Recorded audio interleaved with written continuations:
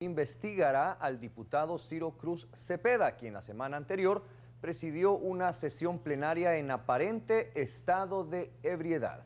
Los padres de la patria prefirieron acuerpar a su compañero. Para muchos, Ciro Cepeda es un político sagaz con mucha influencia. El miércoles anterior se le vio presidir la sesión plenaria en aparente estado de ebriedad. Este legislador de concertación nacional opina que no es algo usual. Esas cosas, si se pueden evitar, creo que todos somos adultos y, decirte qué es lo que debe ser un adulto en un acto público, pues este es, es intrascendente en este caso.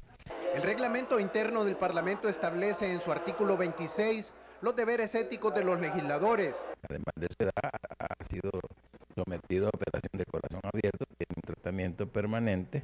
Algunos directivos no están seguros del motivo por qué Cepeda actuó como lo hizo.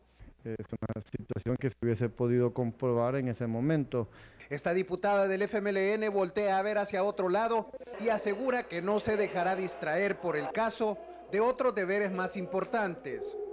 Y me preocupa que quieran distraer este problema de la evasión fiscal poniendo otros temas en agenda. En caso de violarse los preceptos éticos y disciplinarios, se formará un comité para investigar, pero los entrevistados aseguran que no hay una denuncia.